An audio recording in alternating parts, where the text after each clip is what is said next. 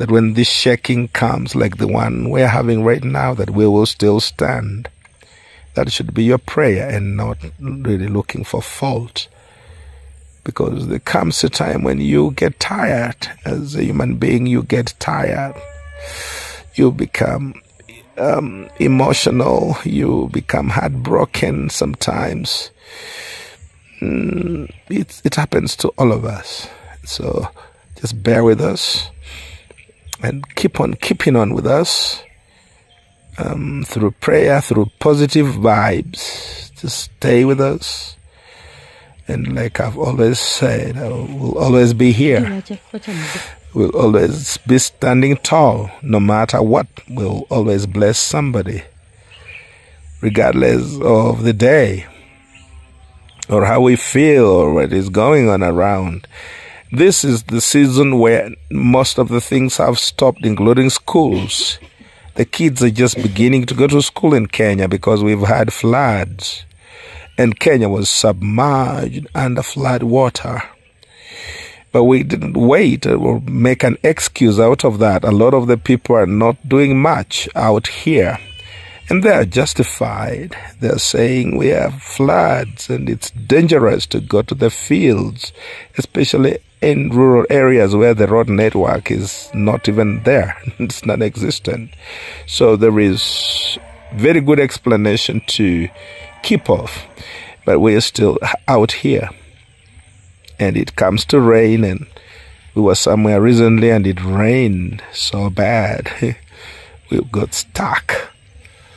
But we, we, we, that, that doesn't mean we get an excuse to not come out and help people not for anything else, but for the love that we feel in our hearts about the people that God has committed in our hands. We know that these are special people, it's a special calling direct from the throne room of God. And we don't take it for granted. We want to do it and do it until we can do it no more.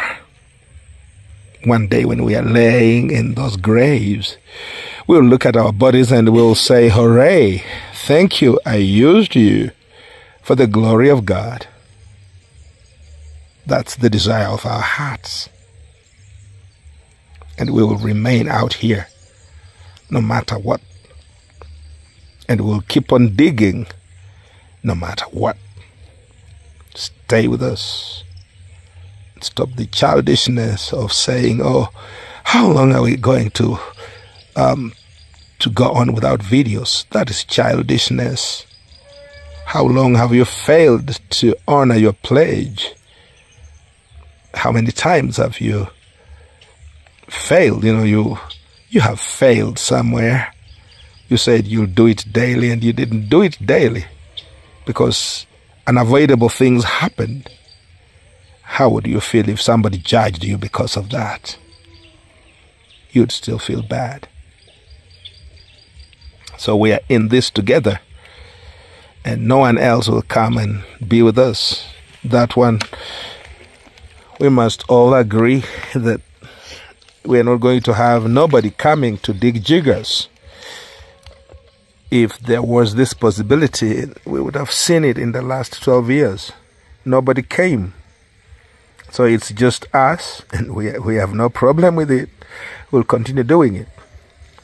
And we implore you in the name of the Lord to please stick by our side and let us help people with a full understanding that uh, we are the ones who have been called to to do that. Let's just make peace with it. I made peace with the fact that I'm called to do this. Somebody at a function called me Mr. Jiggerman in a way that was disrespectful because the, we had many people who were supposed to be giving speeches and and I was asked by the